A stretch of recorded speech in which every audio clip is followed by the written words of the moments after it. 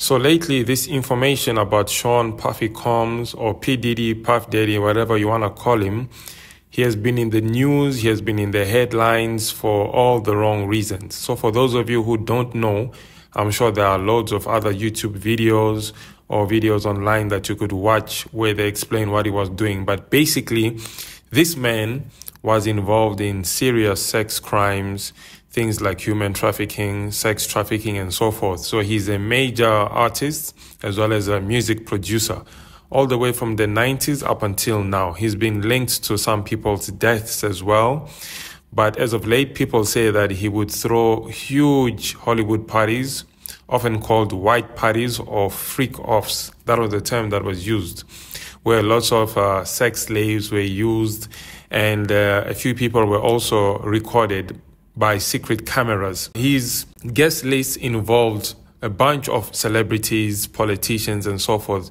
So it's very similar to the Jeffrey Epstein situation, where this guy had a secret island where he had a bunch of underage girls who would do sexual favors for the rich and powerful and he would blackmail them. And then Jeffrey Epstein went to prison, and then it was said that he hanged himself, he killed himself. Basically, you get the picture. So now P Diddy is going through his trial and so forth, and some people say he might be going away forever, for life, and he has now been put under suicide watch. Well, this video is not really about what's going on in the news, but it's for you to understand what's really, really going on. Let's start with the term hazing, all right? So hazing can also be called initiation, beasting, bastardization, ragging, deposition, and so forth. This term refers to any activity expected of someone in joining or participating in a group that humiliates or degrades that person, sometimes even abuses and endangers them. So if someone is joining a gang, we know even gangs do this as well, like your street gangs before you join a gang, maybe the whole gang would actually have to fight you and beat you up, and you'd have to be in a submissive stance. So then hazing, and then we also get different types of social groups, including sports teams, schools, cliques, universities, law enforcement, uh, as well as prisons, fraternities, and sororities. Now, these ones you usually find them in American universities and colleges and so forth. Sometimes you even get it in uh, workplaces. So the initiation rites can range from relatively benign pranks to protracted patterns or behavior. You know, some of the things could even be criminal and even illegal at times. So basically, hazing is mostly prohibited in many places, and uh, other institutions have actually outlawed it as well because this can actually be dangerous. And another interesting part of this hazing is some of the equipment and the things that they use as well. So, for example, the hazee or the person who's being humiliated, all right, can be hosed with, uh, you know, water or anything, sprinklers, or even uh, a cold water, you know, from a bucket could be poured over them, or this bucket could be filled with dirt and, you know, these kind of things, rotten eggs, rotten foods, unfortunately, sometimes even urine. Now, get this, sometimes olive or even baby oil may be used to show off the best skin or even for wrestling or just for general slipperiness. You know, you can't make this stuff up.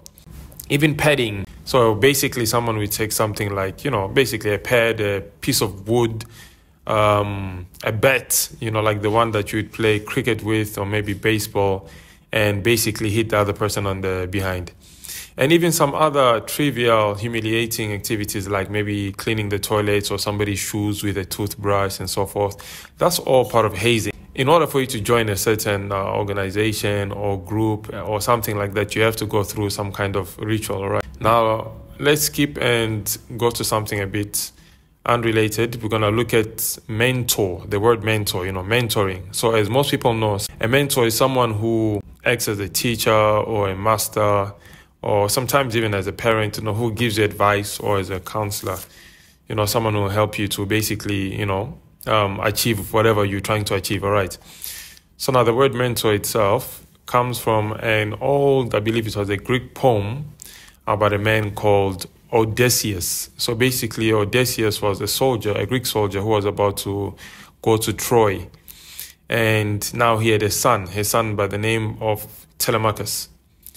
So he needed someone to basically look after his son, you know, take care of him, teach him how to become a man and so forth. So therefore, Odysseus uh, found an old man who was, you know, wise in the ways of life and so forth.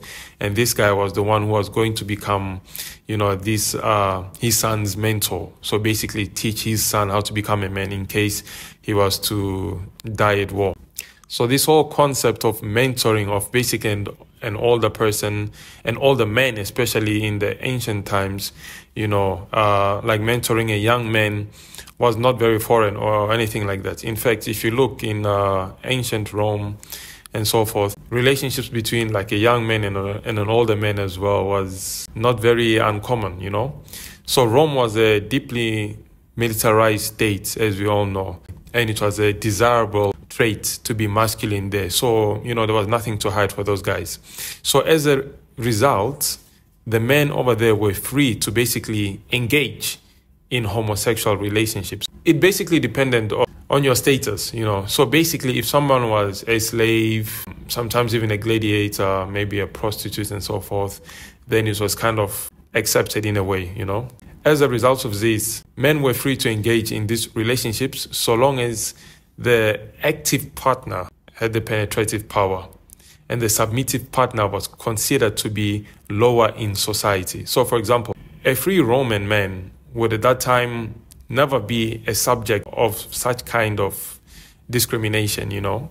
In fact, if he engaged in sexual activity with a male slave or former prostitute, even an actor, it was quite accepted, you know. So young men, specifically between the ages of 12 and 20, were seen as perfectly acceptable sexual partners for a Roman man.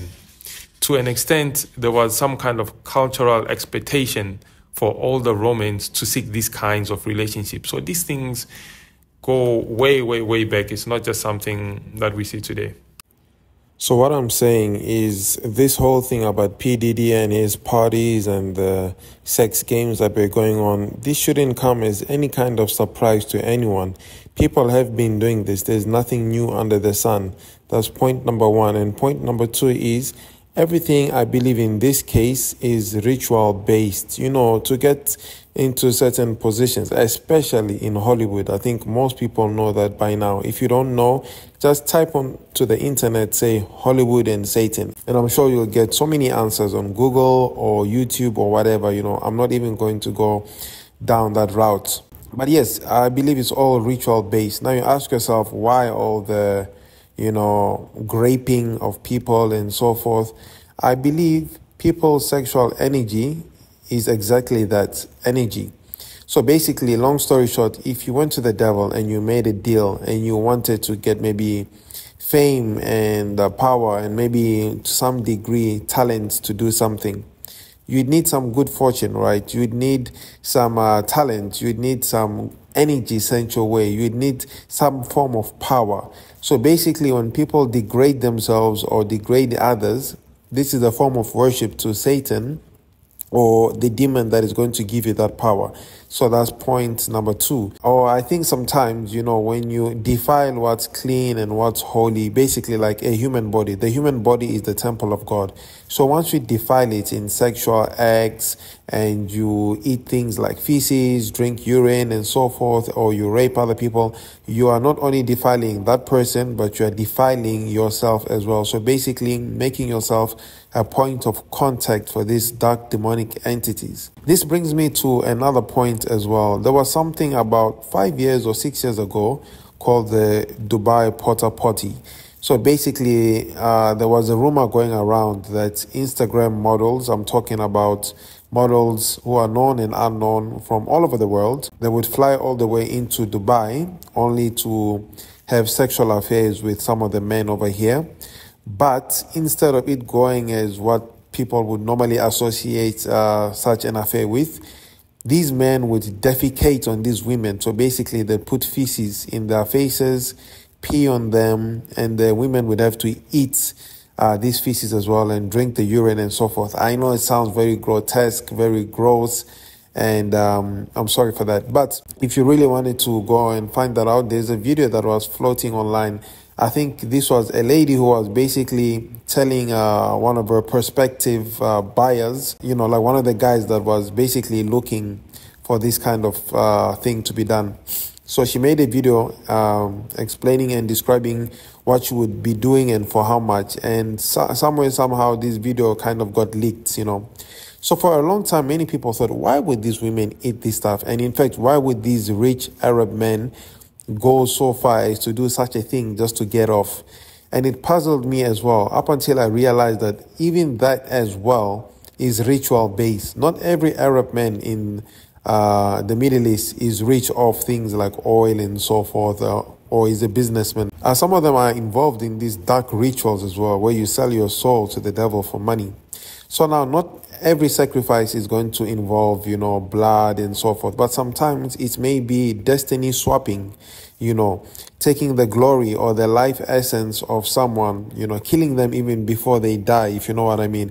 So the way it would happen is once someone would defecate on such a girl and she ate your feces, drank his urine and so forth, and maybe even engage in sexual intercourse after that, all of those things are a form of energy. So by you taking his waste, uh, eating his feces, drinking his urine, and so forth, you are kind of inviting a spirit of waste and rejection upon you and whatever else that guy is involved in and your good luck, your good fortune, your essence, your God essence is being swapped. And therefore, this guy is using your life force and energy to succeed in business.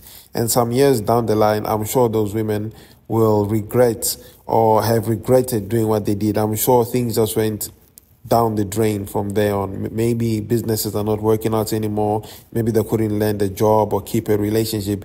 These things do happen. If you just speak to people out there, you'll hear all sorts of crazy stories. So, in conclusion, I believe the whole P Diddy thing was uh, ritual based, and people who went to his parties knowingly, I'm talking about those celebrities, went there to basically strike deals with the devil or some kind of entity for fame and fortune. And those poor victims were killed uh, spiritually and uh, maybe some even physically. And this also is the reason why kids are involved in such things because the energy that you get from a child is uh, pure and in occultic circles, in dark circles, the energy of a child is pure and very, very strong. And it's sort of like a potent drug, you know, that would work. So that's very unfortunate. I know as dark as it sounds, but these things do exist and it is out there. Now you'd ask yourself, why is then P Diddy getting arrested and everything else? It could be that, you know, he hasn't held up his end of the bargain. It could be that his time is up. Not everyone has to die immediately once their time is up. It could be that, you know, he had signed or made some kind of pact or covenant with a dark entity to say that, you know what, I'm going to be on top for about 30 years and then I'll die, then I'll become your slave or something like that, you know. If you look, I mean, we had guys like, like Jeffrey Epstein, we had Hugh Hefner. You will always have a P Diddy type of figure, especially in showbiz. Sometimes they are just situated in different places. You find some in politics, some in showbiz, some in sports, but if you look for them, you'll find them.